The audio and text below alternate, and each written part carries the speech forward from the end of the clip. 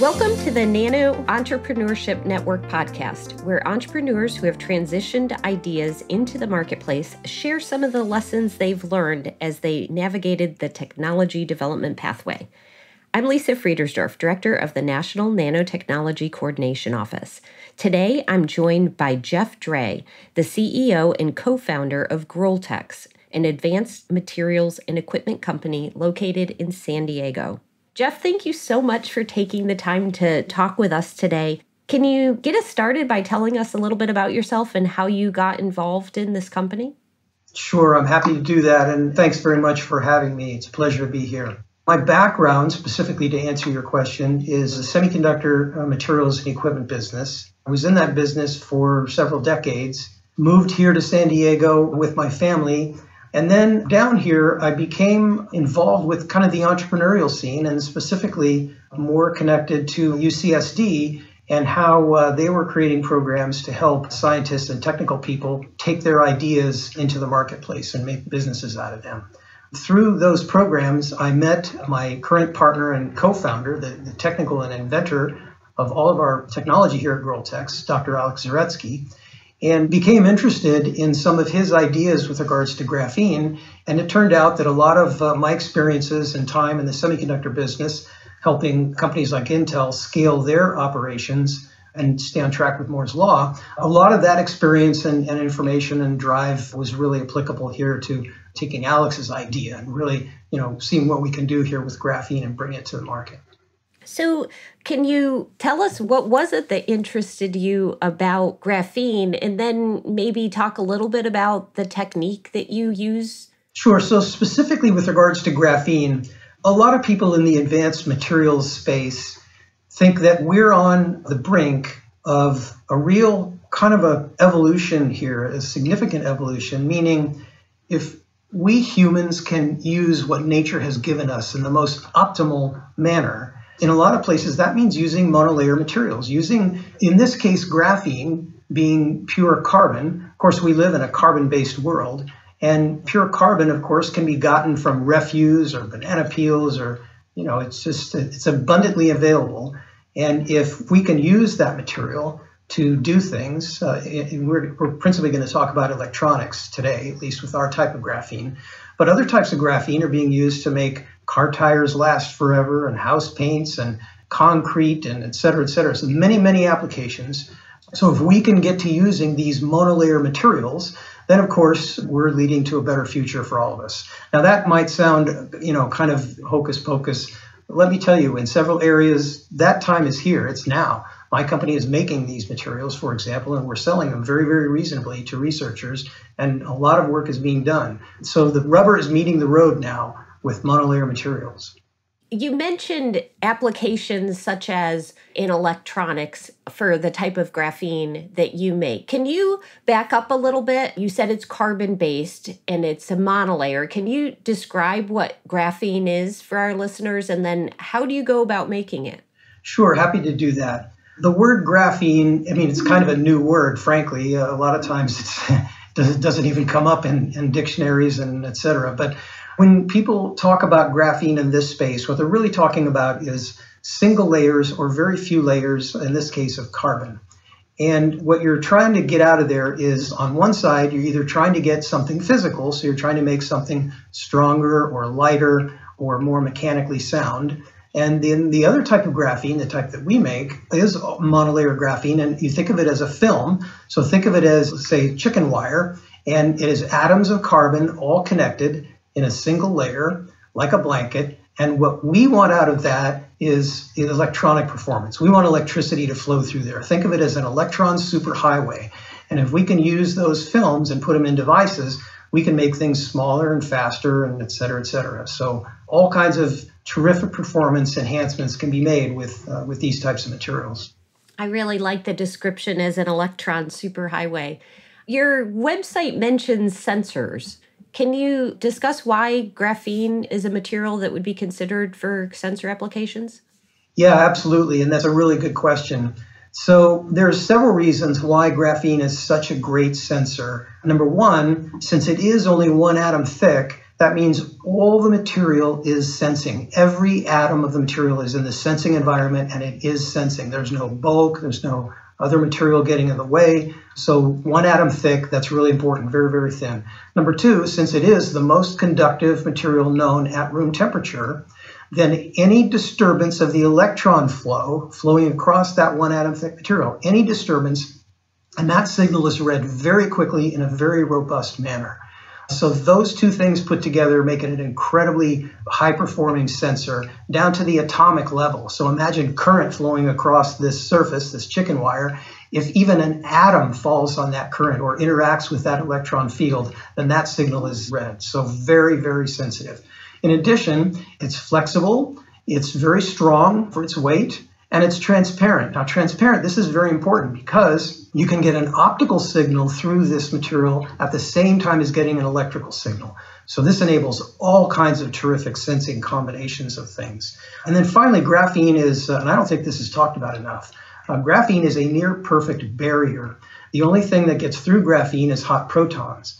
And uh, that means that it's also an ideal material for proton exchange membranes and hydrogen fuel cells. So this material, from an electronic standpoint, it's really hard to come up with, on a theoretical basis, a better sensing material than this. And again, it's pure carbon. We live in a carbon world, right? So all kinds of great advantages here. So I want to focus a little bit on your experience running a company and advice you have or lessons that you've learned you talked about the work that you've done in the semiconductor industry in materials fabrication equipment in the past. And your current company is focused on material, which can be used in that application. But I noticed in your bio that you also had worked with a what I perceive to be more of a software company. Can you discuss some of the differences in running a nanotechnology company compared with running a software company and some things that maybe people who are interested in starting a company in the physical world have to consider differently? Another really good question. So, starting a hard science company or an equipment or materials company as compared to a software company uh, first of all, it's it's much much harder. Starting a software company, I'm certainly not saying that's an easy go, but there are many hurdles that a hard science company uh, just doesn't face. And the most obvious one right up front is money. If you're going to set up a clean room full of equipment to make advanced materials or, or anything else, that's a big cost up front. Now, we were very lucky. We were and are the quintessential scrappy startup. In other words, if you toured around our clean room, which by the way, we built by hand with a kit, like a Lego set kit, if you toured around our clean room and pointed to a piece of equipment, each piece would have a story like, oh, that's a $120,000 tool that we bought on eBay for 13,000 out of the Duke Physics Lab kind of thing. So each piece of equipment has a story like that in our lab. We're lucky enough to have a small staff that's very skilled and uh, willing to learn things. In other words, my PhD partner, he likes to brag that one of the first things he had to do when, when we started the company was go learn how to weld. He went and got a welding certificate so that he could come back and construct the tools he needed to for a clean room. So, coming back to your question, what's different about a hard science company? You need some more money up front. Uh, you need some skill sets that are going to come in handy. You need to be very, very flexible and allow more time, right? You got to allow more time to get these things set up. So, yeah, it's harder. That all might sound obvious. It's the case. Yeah, it's harder. You mentioned building the clean room, and I love the description of each piece having a story and your partner learning to weld. I think it's great to really dig in and do it yourself. And I think that that's one of the things that really attracts people to entrepreneurship is really having that involvement at every stage. You mentioned that you're in San Diego and you've done some work with UC San Diego in the past. Did you take advantage of the equipment there while you were getting started? We did and still do, in fact. So, UC San Diego has several really beneficial programs for entrepreneurs for equipment share. They also set up, in conjunction with, I think, some funding from federal government and, and the state of California, they set up what their name for it is Calit2. It is sort of a mock wafer fab, if you will. So imagine a high tech wafer fab and all the equipment that's in there, all the way to state of the art of Moore's Law. And I'm talking about patterning and etch and deposition and all the key measurement equipment, et cetera. That's all in there. It's available for lab share. We avail ourselves of that equipment at least twice a week and sometimes more often. We're pretty close to the campus here within 10 minutes, so we do a lot of equipment share with the UC, and we're very lucky to have them. When you think back on the early days of this company or past experience, what was the best advice that you got? Is there something that still resonates today that a mentor along the way shared with you? Yeah, so the first thing that comes to me is things always cost more and take longer than you think. You're going to hear this a lot, and there's a reason you're going to hear it a lot. If anyone says to you as a startup, make sure and hire all the people that you need, that's bad advice. Do not hire all the people that you need. we, we've been in business for five years. We still have four people, and that's including me. I'm one of four. And the other three are scientists. So everything that's not science, I'm doing, right? So I'm accounts payable and finance and HR and all those things, and that's okay. I love doing all that stuff. In fact, I was even coached by several shareholders hey, you should go hire a bookkeeper, you should hire a finance person, you should hire an HR person. No, no, no, no, no, no. We need to focus on the mission, on the people that have hands on on the mission. And when we get an MVP and we start bringing in revenue, you know, then we can talk about staffing up and spending money according to the size of the business, right? So don't don't scale the business to the size you think it should be with borrowed money up front. Scale the business on the revenue as it comes in. Again, maybe that sounds obvious, but there's all kinds of startups not doing that, and they burn out very quickly. Now, you described the sensors work where you have a single layer of graphene, the carbon chicken wire single layer, and you described it as decorating the surface with gold or platinum.